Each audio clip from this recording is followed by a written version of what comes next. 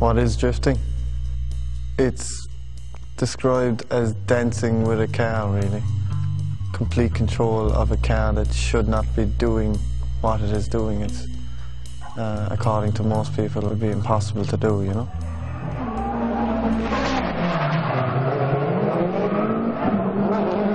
When I was 16, coming up to my 17th birthday, I uh, was obviously excited about getting my first car, like, but didn't know what it was. And I, um, I wanted a Mark II Escort, like my father had down through all the years, but uh, he wasn't very happy with that. So he made the mistake of mentioning to me one day that, why wouldn't you buy something like a Corolla Twin Cam? Wouldn't it be a much nicer car for you? And I said, yeah, probably would, yeah. So I uh, went straight away looking for them and I found one and, and uh, we went to see it and he couldn't find a thing wrong with it. So it was a perfect car and I, I bought it the, the week after.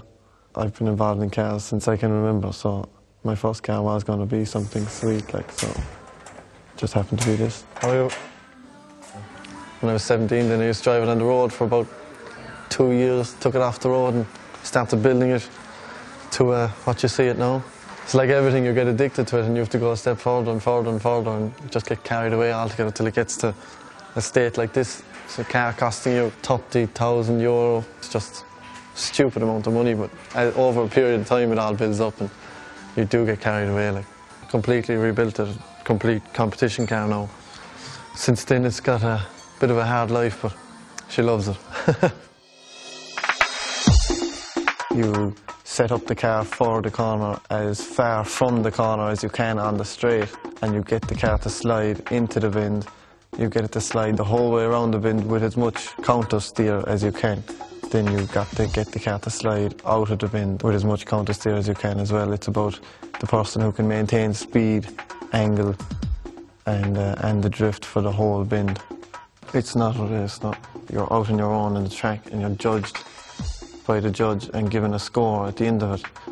And the top 16 go through and are paired off into twin battles head to head. So it just keeps cancelling down in top eight, top four, and then you, you have the final at the end, you know. It's all about the distance you can keep from the man in front. If, if you can stay absolutely stuck to him, you will be marked up. And then when it's his turn to go behind on the second one, if he doesn't stay as close, he'll be marked down, you know. You can drift perfectly, but if you can keep half a car length from him and if he can only keep two car lengths from you, well then you win, you know. I started when I was 11 racing a Mini, basically just jumped into the deep end there and took me a few years to get a hang of it but once we won that championship it took us two or three years I think.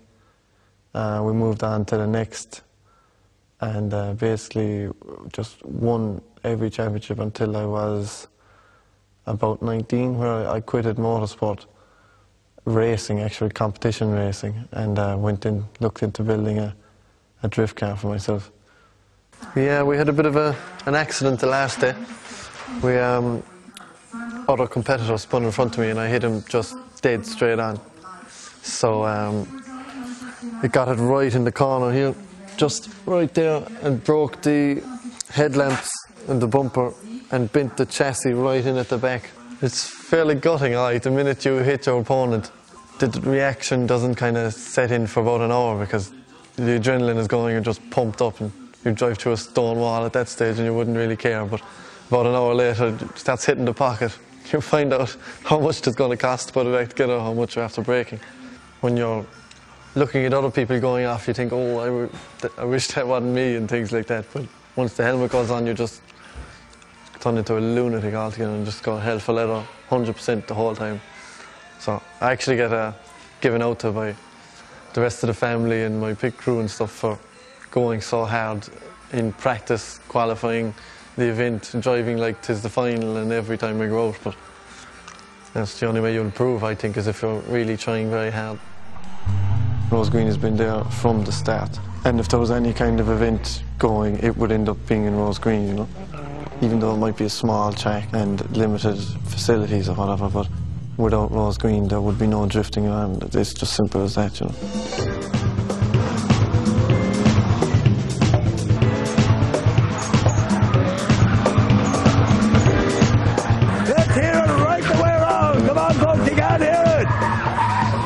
qualifying today because it was invitation only, because it's an exhibition. So normally in qualifying, there'll be about 40 cars and they qualify down to 16. But uh, there's only 16 invites today, so there's no qualifying, it's straight into the competition. Number 13 is Derek Ford. Derek Ford, number 13. And number 9 is Darren McNamara in the uh, turbo-powered 3rd, 86.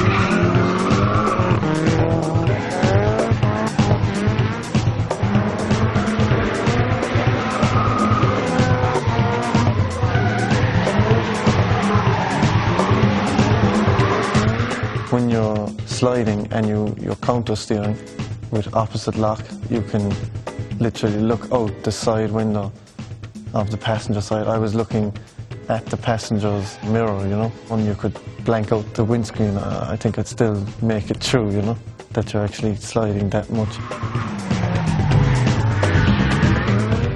I'm up against Mick Dean next. He's from just over the road from me. Good friend of mine. So we're trying not to have too much contact. McNamara the. This one is going to be difficult to decide, folks. This is going to be difficult. McNamara's away down the road. He's got a big, big lead on uh, Mike Dean. Mike can't do uh, attack at that, that distance.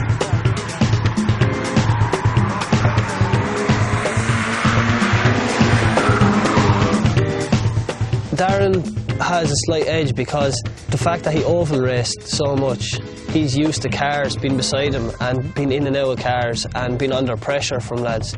And it shows when he's out on the track because he, he's just so calm and collected. I've no problem going out on the track with Darren, just 100% committed, flat to that, because I know if I make a small mistake, he has the capability, the knowledge, and the know how to correct himself and his line to allow for my mistake, or vice versa. A lot of ground to make up on attack.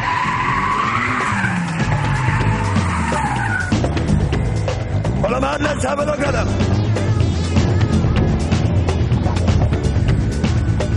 Can we have you out of the cars, guys? Have we got a result, Kieran? Darren McNamara! Yes, folks, give it up to him.